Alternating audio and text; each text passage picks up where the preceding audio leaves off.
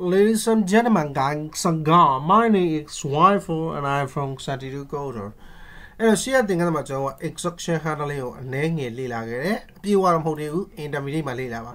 အခုတော့ကျွန်တော်ကဒီ predefine or important variable ပဲ global variable တော်တော်များများနဲ့မိတ်ဆက်ပေးမယ်အဲ့တော့ global variable ဆိုတော့မှာ global ဆို keyword သုံးပြီးတော့ရှာတဲ့ variable variable လို့ပြောတာထက်စာရင် array လို့ပြောတာပုံမှန်ပါတယ်တော့ square bracket နဲ့ associated array တွေပေါ့နော် server get get ဆိုတဲ့ array post ဆိုတဲ့ array file ဆိုတဲ့ array ဒါတွေအားလုံးကျွန်တော်တွေ့ခဲ့ပြီးပြီเนาะကျွန်တော်တို့ file upload လုပ်တဲ့အခါမှာ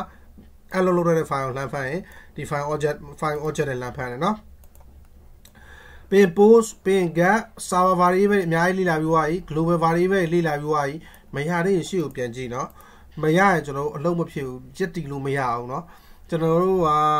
okay ရက်တီလို့မရအောင်ထားလိုက်ပါတော့အဲ့လောက်ပဲ request post score ကိုလမ်းပြီးတော့ accept လုပ်နိုင်တယ် request safari ပဲ and the next one is cookie cookie ဆိုတဲ့ relay ကျွန်တော်တို့လေ့လာပြီးဟိုအကျွန်တော်မရေးခဲ့တာက http cookie var တော့မရေးခဲ့ဘူးเนาะအဲ့တော့နောက်ပိုင်းရေးမှာပေါ့ session variable ကျွန်တော်တို့ကျွတ်သွားပြီး session နဲ့ပတ်သက်ပြီးတော့ကျွန်တော်သင်ခန်းစာ၄ခန်းလောက်မှတင်ပေးထားတယ်ပြီးရင် PHP serve ဒါကတော့ကျွန်တော်အမြဲတမ်းတုံးနေတာ form မှာကျွန်တော်တို့က current file ကိုပြန်ညွှန်းခြင်း PHP serve လို့ညွှန်းခိုင်းတာပြီးရင်ကျွန်တော်က error handling error handling ရရှေ့မှာကျွန်တော်လေ့လာခဲ့တယ်ဒီမှာလည်းကျွန်တော် error handling နဲ့ပတ်သက်ပြီးတစ်ချက်လောက်တော့လေ့လာကြည့်မယ်နော်ကျွန်တော်ကကျွန်တော်မတင်တော့ဘူးတင်ပြီးသားတယ်ကျွန်တော်မှဘာလို့ရေးထားပြီလဲမသိဘူးဟိုဟိုလူတိုင်းကလည်းရေးနေတော့ကျွန်တော်လည်းရေးထားလိုက်တာနော် ဟိုပြီးရင်တင်တယ်ထဲမှာ global variable တွေဟိုစုထားတာမပါဘူးတွေပါပြောမှာစိုးလို့ရဲ့အာပြီးတော့လိုအပ်ချက်တစ်ခုရှိတာဒီတစ်ခုလေးပဲကျွန်တော်လိုတာအဲဒီချက်လေးပဲနော် error handling နဲ့ပတ်သက်ပြီးကျွန်တော်တစ်ချက်ပြောဖို့ကြံခဲ့တယ်အရင်တင်ခန်းစာမှာအဲ့တော့ကျွန်တော်က error handling နဲ့ပတ်သက်ပြီးနည်းနည်းပြောမယ်အဲ့တော့ကျွန်တော်တို့မှာ file လာဖွင့်မယ်ပေါ့နော် okay $5 file ပြီးရင်နာမည်ကိုကျွန်တော်က myl.txt လို့ပြောလိုက်မယ်ဒီ file မရှိဘူးတော့ myl.txt အဲ့တော့ကျွန်တော်က fopen open ဆိုပြီးလှမ်းဖွင့်မယ် မရှိတဲ့ file ကိုဖွင့်မယ်ဘာမုန်းနဲ့ဖွင့်မလဲဆိုတော့ reading mode နဲ့ဖွင့်မယ်လို့ပြောလိုက်မယ်အဲ့တော့ကျွန်တော်စစ်ပြီးတော့ program ကိုဒီမှာလာရတဲ့အချိန်အားလုံးမျှော်လင့်ထားတဲ့အတိုင်းပြဿနာအကြီးရှိနေတယ်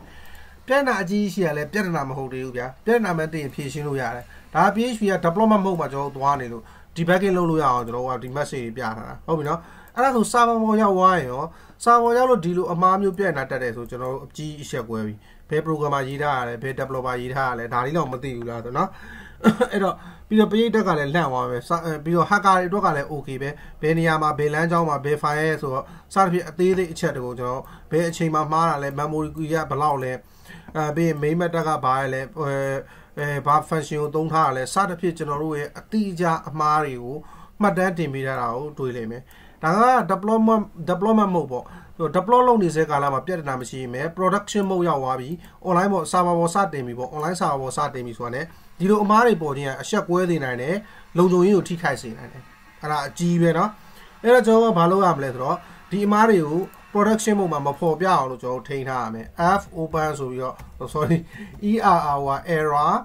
IP ကတရားကြီး reporting ကို0ထားလိုက်0ထားလိုက်ရင်မှားတော့မှားတယ်၎င်းအမားကိုကျွန်တော်မဖော်ပြပြီးတော့ကြည့်လိုက် ဟုတ်ပြီနော် error error reporting 0ထားလိုက်ရင်မှားလားမှားရတော့ကျွန်တော်မှဒီ error reporting 0ကို comment ခံပြမယ်လာကြည့်ကြည့်မှားနေတယ်မှားတာဒါပေတိ